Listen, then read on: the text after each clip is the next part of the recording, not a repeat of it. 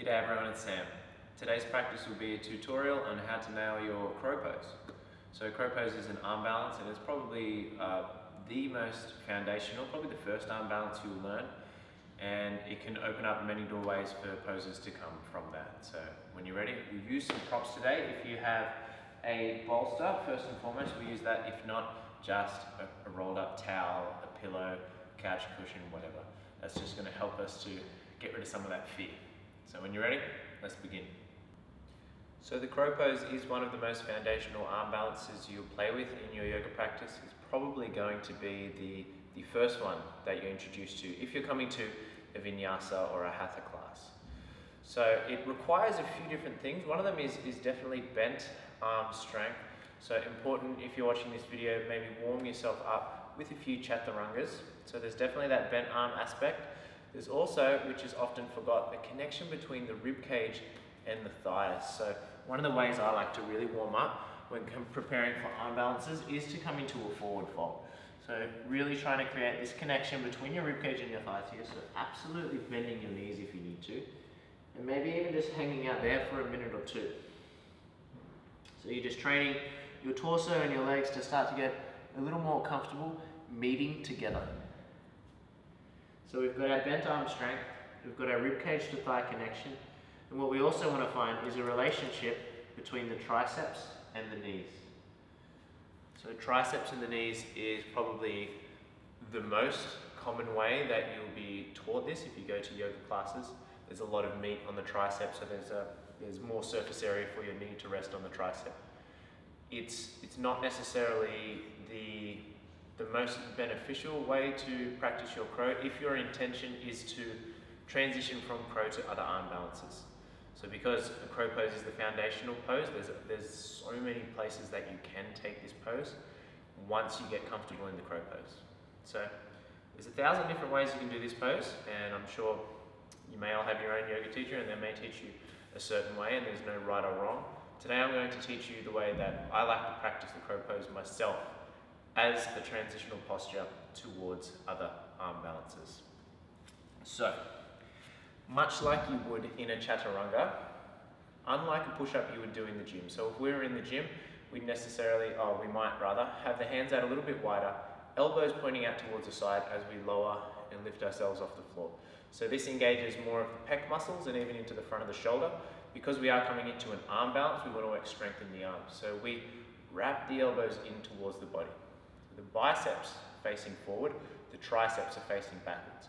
So when we lower down, say we're warming up through our chaturangas, we're actually incorporating a lot more strength in the triceps. So by wrapping those biceps forward, leaning forward, as we lower down, I'm hugging the arms in towards the body, and then I'm using the strength of the triceps as I press back up, as well as the chest.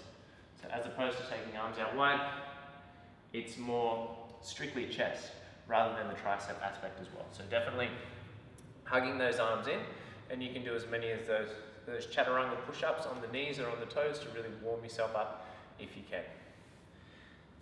So after we've got our arms nice and warm, we're hugging the elbows in, biceps facing forward, triceps back. And the way I like to come into the pose is from a forward fold to begin with. So by folding forward, I'm encouraging that connection between the, the rib cage and the thighs. I'm bending into the knees so I can allow those two to more comfortably meet each other. So as we mentioned before, most commonly you'll probably be taught this pose with triceps to knees, triceps to knees, so knees nice and high. And that way when you lean forward, the top of the shin is almost resting against the back of the arm, which is a, a great way to learn. So I would come from my forward fold, I'd create the connection between the ribs and the thighs, I'd ground my hands down onto the mat, wrap the biceps forward, start to bend the elbows. So what I'm trying to create is as little space as possible between my arm and my leg, and my leg and my torso. So everything's almost sandwiched against each other. So palms press flat, biceps wrap forward, thighs and ribs connect, knees are on triceps. So I just get comfortable finding that connection between those three points. I press the hands down, pull the fingertips back towards the palm. So activating the fingertips will give you a little more bite into the mat. So if you start to lean forward, then you've got a little bit of action from the hands there to stop you from falling forward. And our trusty bolster is here, just in case we happen to go a little bit too far. So that's our safety net. We don't want the safety net forever, it's just when we're first playing. So, ribs and thighs meet, triceps and knees meet. Elbows bend, knees bend. Palms press flat, fingertips bite into the earth. Now as I start to lean forward, I want my hips to lift because I'm working towards a stacking of joints. So I come up onto the toes, I keep leaning forward, and I'm looking at the bolster to start with, because if I look back through my legs, it can result in a little bit of a roly-poly, and that's the last thing we want. You wouldn't drive a car while looking in the back seat. So we'll look forward, just start to lean forward. And maybe this is where you come to and that feels fine. You get comfortable there, maybe just lifting onto the big toes. Pressing down through the inner part of the hand, wrapping the elbows in, that'll help to engage your pecs as well. If you feel a little more space, maybe one float can lift and hover. One foot can lift and hover rather. Then maybe set that foot down, lift the other one. Lift and hover, lift and hover. You start to feel a little more comfortable, gentle lean forward, maybe both feet lift. We point the toes and squeeze the heels in towards the butt.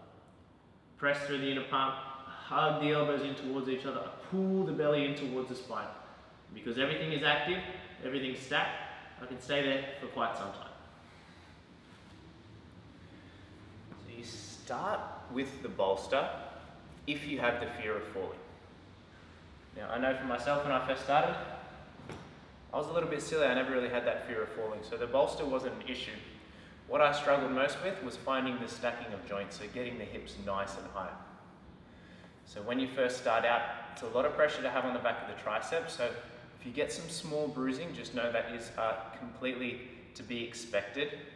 At first we work the stacking of joints and then as we progress we work to find a little more activation in the belly and trying to almost lift the knees a little bit lighter off the arm, so the pressure is not all going down. We are trying to find an uplift of energy as well. So as I mentioned, there's many different ways to, to teach the crow pose and the way I like to practice it because I use it as a transitional posture. The same setup, but instead of knees high on the triceps, I take the knees a little bit lower, so they're almost above the elbows. You see where I have tattoos on the back of each arm, and that's exactly why I got them there, so I know where to put my knees in a crow pose. And that's a joke. So the same setup, ribs and thighs meet, knees bent, hands ground, biceps wrap forward. And there's a lot less meat just above the elbow, but you'll notice when I set the knees up, it's a little more tricky to try and find a spot for them to safely sit in, almost like you're trying to click them in like they're pieces of Lego. Notice as I start to lean forward, once I lift my feet, my joints are completely stacked. My hips are above my knees, my knees are on top of my elbows, my elbows are on top of my wrists. So there's so many more places I can take this pose now.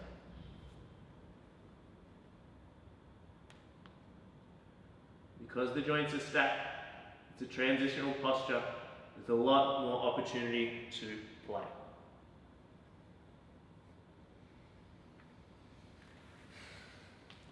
So let me know how you go.